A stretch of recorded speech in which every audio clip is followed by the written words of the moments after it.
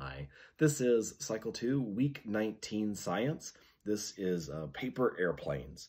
This is a, a cool opportunity to uh, let your uh, students get some hands-on experience folding paper airplanes, making paper airplanes, and, um, and potentially testing paper airplanes out. More about that here um, in, in, just a second.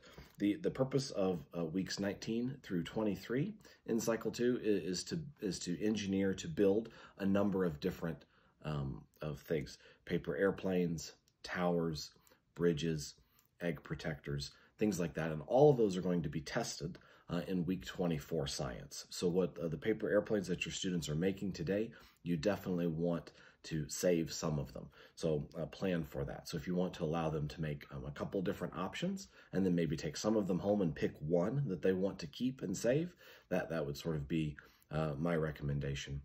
There's a number of uh, commercially available options to help you uh, to make uh, these kits. If, if, you're going to make paper airplanes, um, then you obviously need paper uh, in order for the students to fold. And again, I would bring plenty so that they can fold lots of different ones. If you're going to do uh, paper airplanes, uh, I suggest you pre-fold a couple of options so that uh, your students can see them and they can kind of get a sense uh, uh, of what of what to do. To, to that end, there are commercially available kits from from Lighthouse, from um, Oriental Trading Company, from Usborne. there's many, many different options if, if for you to use. Something that I've used successfully a lot in the past is this Usborne book. There's a couple of different paper airplane books uh, put out by Usborne.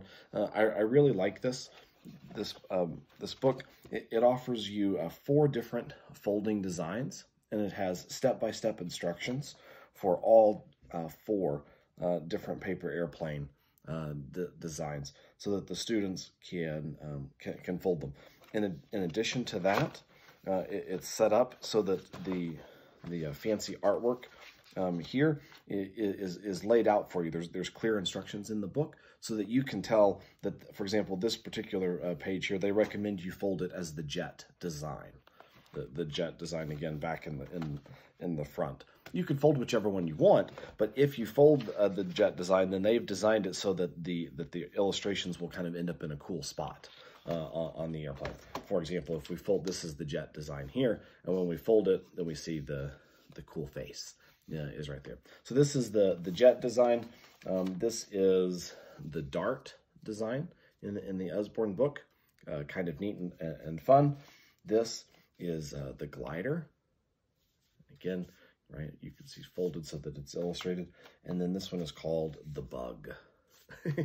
the bug. Now, these are all not going to fly the same distance. They're all not going to fly in the same way. And that would be something for maybe to encourage your students. Um, bring at least a couple of different designs so that they can practice folding so that you can help them. Um, and then that they can, um, you know, potentially start to, to try and, and decide which design would work best, which design will go, go the furthest, which one um, flies the best. There are, um, all of these designs are about the same. They're about seven or eight steps to fold and that's probably what I would recommend. You, there's there's super super complicated, you know, origami uh, paper airplane designs out there um, that that uh, would be cool. So so think about it if that's what you want to do.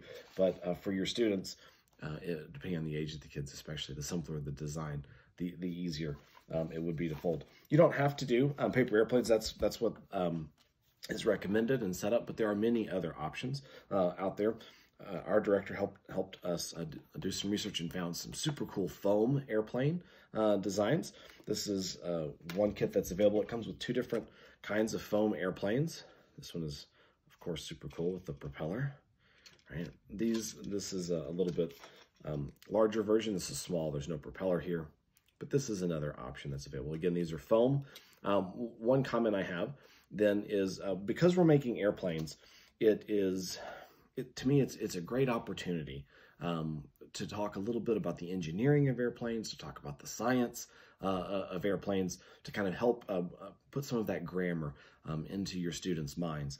If um, the, the foam airplanes will be, I think, quicker and easier to assemble. So if you want to spend a lot of time talking about the engineering and the science, then maybe you want to consider that. Uh, maybe you want to have your students fold as you're talking. It probably depends on how much um, adult help that you have in the room because some of the students will definitely need some help. But that's something uh, to think about. Uh, it, in, in my opinion, I would at least talk about the four forces that are acting upon airplanes um, as, as, they're moving. We have the, the weight of the airplane, which we all know is the force of gravity pulling on the mass of the airplane. We have the lift force. We have the drag force. Uh, and we also have the thrust force of the, of the engines as they're pushing the plane uh, through the sky. So those four forces then and, and how they're interacting on the plane um, have different scenarios. So as the plane is taking off, there, there's one issue as the plane is in level flight. They're in a different balance as the plane is beginning its descent. And then finally, as the plane is coming all the way in and landing. Um, and, and, you could talk about um, the four forces and sort of their relative magnitude, I guess. Uh, you know, so meaning what I mean by that is um, as the plane is taking off, the, the thrust is increasing the entire time, right? And, and the lift uh, on the plane is is greater than the weight of the plane, and that's why the plane begins to rise. Things like that. When you're in level flight, now the lift and the weight of the plane are being balanced. That's why it's level flight and then as you're as you're decreasing the lift as you're landing is what i mean then the the, the lift is being decreased of course in a very controlled way right? As as many of us have flown uh, and, and, feel that. Um, but similarly as the as the plane begins to like turn in the sky then you you have different forces um, acting acting upon it. Um, there's just a lot here um, that you could talk about. I would definitely talk about those four forces uh, and, talk about those. So, so again, lift is the force that's pushing up uh, on the airplane. The weight of the plane is the gravity pulling on the mass. The thrust is the force that the engines are exerting. Um, and, and, the uh, drag is is effectively the friction of the plane as it's moving through the, the fluid of, of the sky.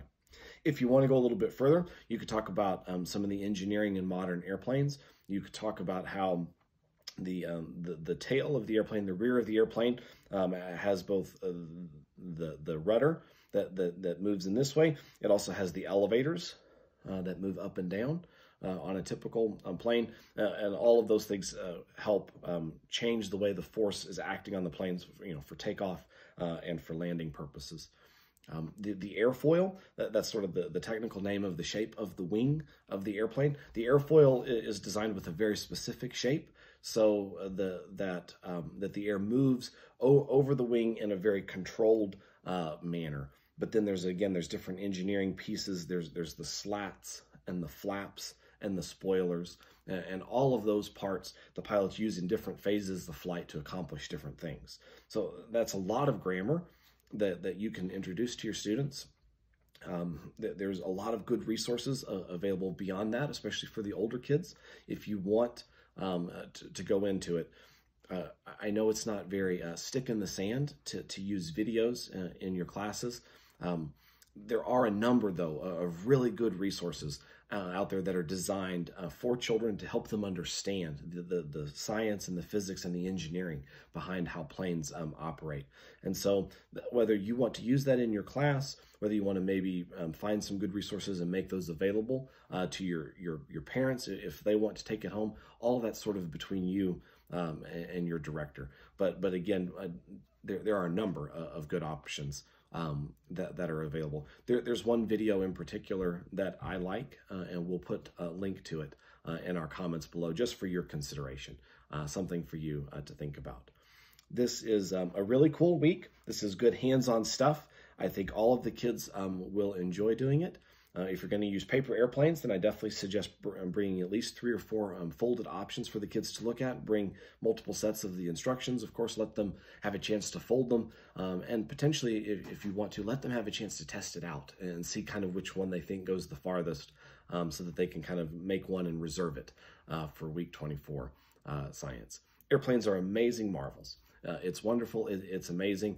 It's definitely something that you should talk about how God has created us with the ability to understand the world that He's made. Right? Again, we, we talk all the time about how science is, is sort of getting into God's creation and understanding how it works. Um, and, and, airplanes surround us. Many of your students will likely have flown on airplanes, so it's it's something that's very much within their everyday experience. Um, and it's really cool. And so it's a good opportunity to let them fold some planes and to talk a little bit uh, about what goes on uh, and how we we have used our brains that God has made and given us the ability to understand how uh, the modern airplane uh, works and how we're able to use it. Uh, this is very cool stuff, and I know that uh, your students will enjoy it. This is Cycle 2, Week 19 Science.